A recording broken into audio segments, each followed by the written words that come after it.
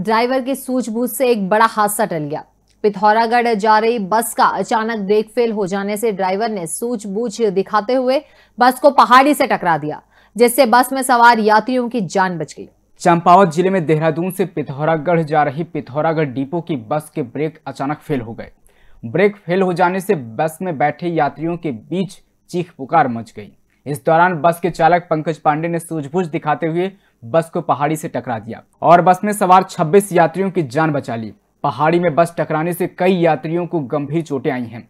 जिन्हें इलाज के लिए अस्पताल में भर्ती कराया गया है। थोड़ा ये ब्रेक हल्का सा वो हो गया था डाउन अप तो उसकी वजह से थोड़ा डर ज़्यादा गए थे वो लोग। हम लोग उससे ज़्यादा कुछ नहीं सोच रहे वो तो ठीक है जान बच गई थोड़ी। उसके वजह से थोड़ा अभी थोड़ा नॉर्मल है आ रहे हैं हॉस्पिटल अब दिखाते थोड़ा थोड़ा की कृपा से थोड़ा बच गया और कुछ बस के चालक पंकज पांडे ने बताया कि ढलान में अचानक बस के ब्रेक फेल हो जाने से इस बीच यात्रियों की जान बचाने के लिए बस को पहाड़ी से टकराना पड़ा। ड्राइवर ने कहा कि बस को रोकने के लिए तीन बार बस को पहाड़ी से टकराना पड़ा। गनीमत रही कि बस पहाड़ी से नीचे नहीं गिरी, अन्यथा एक भीषण हादसा हो सकता था। मैं घुस गया था, पैडल बिल्कुल था ही नहीं पैडल उसमें। तो फिर अपना वो लगा के दीवार से टकराई, फिर दो बार दीवार से टकरा के फिर स्पीड पकड़ ली गाड़ी ने, फिर सौ मीटर आगे जाके दीवार से ऊपर चढ़ा दी मैंने। तो इसमें बिल्कुल मानते हैं, वर्कशॉप की गलती है, गाड़ियाँ पुरानी हैं और गाड़ियाँ बदल नहीं रहे नई गाड़ियाँ आ नहीं रही हैं। किलोमीटर आठ आठ नौ नौ लाख किलोमीटर चल चुकी हैं ये गाड़ियाँ। ये ज़बरदस्ती चलाई जा रही हैं गाड़ियाँ।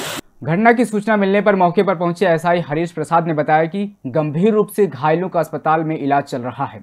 वहीं मामूली रूप से घायलों को दूसरी बसों से उनके गंतव्य स्थल तक भेज दिया गया है। एक बस जो है रोडवेज़ बस जो पिथौरागढ़ डिपो से थी संबंधित थी और देहरादून से पिथौरागढ़ जा रही थी ये बस जो है सड़क किनारे पहाड़ की तरफ़ को बिल्कुल टकराई हुई थी।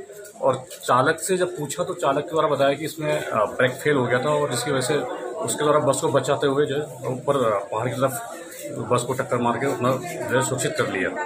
इस बस में छब्बीस लोग बैठे थे जिसमें से लगभग बीस लोग ठीक ठाक हैं और उन्हें दूसरी बस से जो है पिथौरागढ़ भेज दिया गया है। और बाकी जो छः लोग हैं वो छोटी मोटी चोटें उनको यहाँ पर हैं हल्के हल्के फ्रैक्चर हैं। तो उनको हम एक सौ आठ के माध्यम से यहाँ पर हॉस्पिटल में यहाँ पर लोहाघाट में ले आए हैं और उनका उपचार चल वो खबरें जो आपके काम की है। वो खबरें जो आपके लिए ज़रूरी है। हर आम और खास से जुड़े मसले। हर मसले का सटीक विश्लेषण। हम करते हैं सत्य का अन्वेषण। दखल न्यूज़। आपके हक में। आप देख रहे हैं दखल न्यूज़।